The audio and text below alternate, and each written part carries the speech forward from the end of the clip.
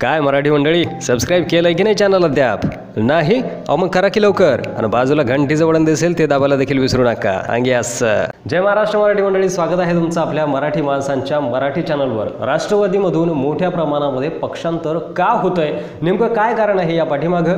भाजप आणि शिवसेनेला चितपट करण्यासाठी शरद पवार यांनी नेमकी कोणती योजना आखलेली आहे? आणि छत्रपती नव्हे तर छत्रपतींची भूमिका करणारे अमोल कोल्हे हे राष्ट्रवादीला या संकटामधून कशा प्रकारे बाहेर काढतील हे या व्हिडिओमध्ये आपण जाणून घेणार आहोत. भाजपाची अर्थात मुख्यमंत्र्याची महाजनादेश यात्रा आणि शिवसेनेची म्हणजे आदित्य ठाकरे यांची जनआशीर्वाद यात्रा याला उत्तर देण्यासाठी राष्ट्रवादी काँग्रेस पार्टी शिवस्वराज्य यात्रा काढणार आहे. सुरुवातीला अशा बातम्या आल्या होत्या की विधानसभा निवडणुकांमध्ये उदयनराजे भोसले हे राष्ट्रवादीचा चेहरा असतील. किंबहुना मुख्यमंत्री पदाचा सुद्धा चेहरा राष्ट्रवादीकडून उदयनराजे भोसलेच असतील अशा बातम्या देखील समोर आल्या होत्या. मात्र आता उदयनराजे भोसले यांना बाजूला सारून डॉक्टर अमोल कोल्हे यांना राष्ट्रवादीला या संकटामधून बाहेर करण्यासाठी जबाबदारी देण्यात आलेली आहे. डॉक्टर अमोल कोल्हे यांच्या नेतृत्वामध्ये राष्ट्रवादी काँग्रेस पार्टी ही महाराष्ट्रभर शिवस्वराज्य यात्रा काढणार आहे. लोकसभा निवडणुकीमध्ये शिरूर लोकसभा मतदारसंघामधून डॉक्टर अमोल कोल्हे यांनी जो काही पराक्रम करून दाखवला आणि राष्ट्रवादीला विजय मिळवून दिला त्यावरून निश्चितच डॉक्टर अमोल कोल्हे यांची लोकप्रियता काय आहे ही राष्ट्रवादीच्या लक्षात आलं आहे. आणि त्यामुळे आता संकटामध्ये सापडलेल्या राष्ट्रवादीला बाहेर काढण्यासाठी उदयनराजे भोसले यांना स्टार कॅम्पेनर ठेवून महाराष्ट्राची जी जबाबदारी आहे ती डॉक्टर अमोल कोल्हे यांच्यावर सोपवण्यात आलेली आहे. छत्रपती शिवाजी महाराज आणि संभाजी महाराज यांच्या भूमिकेमधून महाराष्ट्रभर लोकप्रिय असलेले डॉक्टर अमोल कोल्हे आणि त्यांच्यासोबत छत्रपती शिवाजी महाराज यांचे वंशज उदयनराजे भोसले हे महाराष्ट्रभर दौरा करणार आहेत आणि त्यामुळं आता हे राष्ट्रवादीला कशा प्रकारे संकटामधून बाहेर काढतात किंवा त्यांना कितपत यश मिळतं हे पाहण्यासारखं असणार आहे. दुसरीकडे विधानसभा निवडणुका या तोंडाशी असताना राष्ट्रवादीमधून पक्षांतर करणाऱ्यांची संख्या मोठ्या प्रमाणामध्ये वाढत आहे.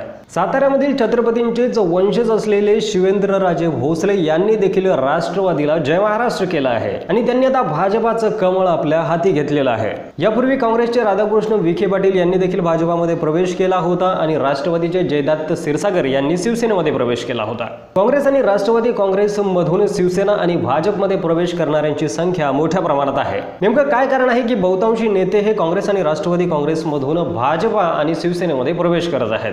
एका गोष्टीवर जर तुम्ही प्रकाश टाकला तर अगदी सुरुवातीपासून महाराष्ट्रामध्ये काँग्रेस आणि राष्ट्रवादी काँग्रेसची सत्ता राहिलेली आहे. एक काळ असा देखील होता की काँग्रेस आणि राष्ट्रवादी काँग्रेसला जेव्हा सत्ता मिळू शकत नव्हती तेव्हा त्यांनी देखील विरोधी पक्षांचे काही आमदार फोडले होते. शरद पवार यांनी तर काँग्रेस सोबतच बंडखोरी करून काँग्रेसचे काही आमदार फोडून आपला एक वेगळा गट स्थापन केला होता. सत्तेच्या खुर्चीवर बसण्यासाठी यापूर्वी शरद पवार यांनी देखील तडजोडीचं राजकारण केलेलंच आहे असं म्हणावं लागेल. सत्ता जर मिळत नसेल तर ती मिळवण्यासाठी कोणत्याही थराला जाण्याची तयारी आणि शक्य तेवढे जास्त प्रयत्न करण्याची तयारी प्रत्येक पक्ष आणि प्रत्येक पक्ष नेतृत्व करतच असतो हे आतापर्यंत आपण पाहत आलेलो आहोत.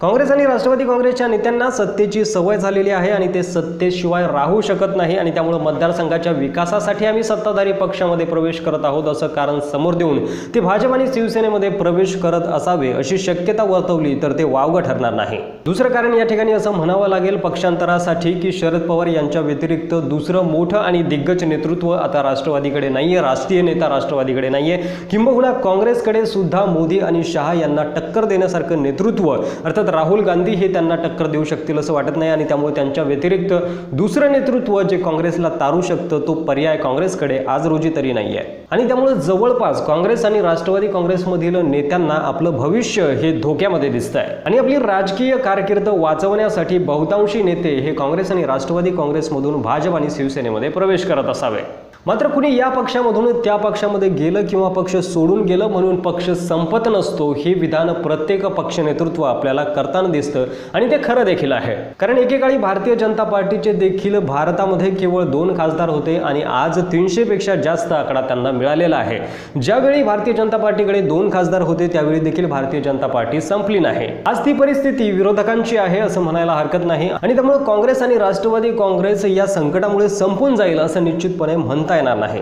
आणि या संकटावर मात करण्यासाठी आता शरद पवार यांनी आपली रणनीती आखल्याचं बोललं जात आहे काँग्रेस आणि राष्ट्रवादी काँग्रेसमधून मोठ्या प्रमाणामध्ये नेते शिवसेना आणि भाजपमध्ये गेलेले आहेत आणि त्यामुळं त्यांना विधानसभेला उमेदवारी मिळण्याची शक्यता आहे. आणि त्यामुळे जर बाहेरून आलेल्या उमेदवारांना सरळ विधानसभेची उमेदवारी दिली तर भाजप आणि शिवसेनेमध्ये सुद्धा नाराजी आणि गटबाजी समोर येऊ शकते.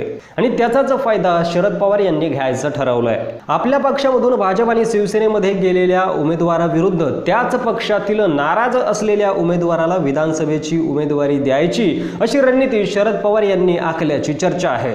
ज्यांनी संकटाच्या काळामध्ये राष्ट्रवादीला पाठ दाखवली त्यांना विधानसभेला पराभूत करणं हा देखील अजेंडा राष्ट्रवादीच्या पटलावर आहे. त्यामुळे आता शरद पवार यांची ही रणनीती आणि डॉक्टर अमोल कोल्हे यांच्या नेतृत्वामध्ये निघत असलेली शिवस्वराज्य यात्रा ही राष्ट्रवादीला कितपत यश मिळवून देते आणि विधानसभेला राष्ट्रवादीचे किती आमदार निवडून येतात हे पाहण्यासारखं असणार आहे. असे संबंधित व्हिडिओ पाहत राहण्यासाठी आपल्या मराठी मंडळी या चॅनलला सबस्क्राईब करा. बाजूला घंटीचं बटन दिसेल ते दाबायला देखील विसरू नका. इतरांकडून देखील आपलं मराठी मंडळी हे चॅनल सबस्क्राईब करून घेऊन आम्हाला सहकार्य करा. आणि राष्ट्रवादीला विधानसभेमध्ये किती मतदारसंघामध्ये यश मिळेल कोणते आमदार त्यांचे निवडून येतील याबाबत तुमची प्रतिक्रिया काय आहे ती कमेंट बॉक्समध्ये लिहायला विसरू नका. लवकरच घेऊन पुढचा व्हिडिओ तोपर्यंत रजा द्या. जय महाराष्ट्र.